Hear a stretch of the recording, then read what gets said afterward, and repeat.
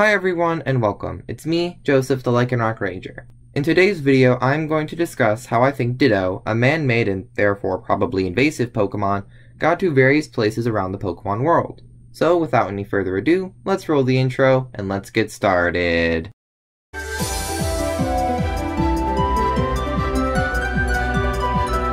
So one quick thing before I get started, that being that works and images used will be in the description of the video. So firstly are the areas linked to Mewtwo in some way, due to the fact that I believe the theory that Ditto is a failed Mew clone. There will be a video mentioning this theory in the description of the video. So anyway, these easier to explain areas are the Pokemon Mansion, Cerulean Cave, and the Pokemon Village. Moving on to the areas that are slightly more difficult to explain are the areas where Ditto seemingly was present and then went extinct for whatever reason, these being routes 13, 14, and 15 in the Kanto region. I do not have much idea why they would be there, however they evidently did not last there as they are in none of the Johto games in those locations and only in some of the Kanto games there, like for example they're not in Let's Go there. With those more quick ones out of the way, we begin with Johto routes 34 and 35.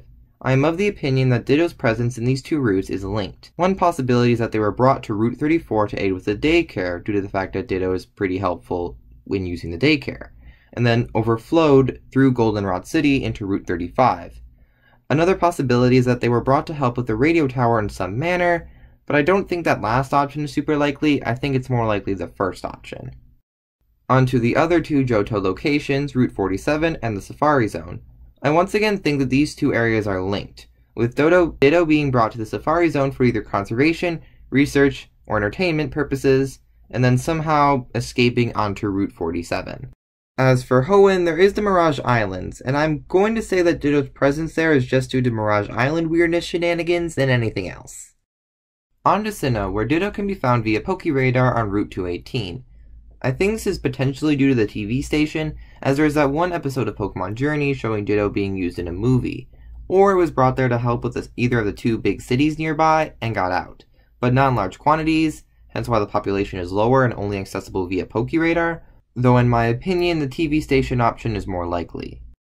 There is also the Grand Underground in Sinnoh, and I think that Ditto was either brought there for conservation, research, entertainment, or on complete accident, as I'm of the opinion that the hideaways are man-made as a second safari zone of sorts. I have a slightly outdated video going more in depth on this theory in the description of the video.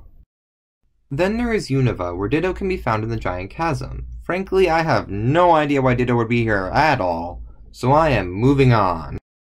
Following that, there is Kalos's Friend Safari, where I think Ditto were just brought for entertainment purposes.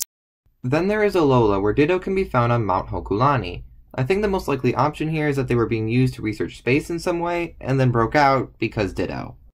Finally, there is the Galar region, where I have absolutely no clue why they are near the Lake of Outrage of all places. And my best guess for the Workout Sea is that they were brought there to help with training, potentially? So that is how I think that Ditto got to the various places it is present in the Pokemon world. Do you agree with my assessment, or do you have a different theory? Let me know in the comments down below. Do you have an idea about why Ditto is in the places where I have no clue? Let me know in the comments down below. And as always, if you enjoyed the video, please leave a like and subscribe, and I will see you all next time. Bye!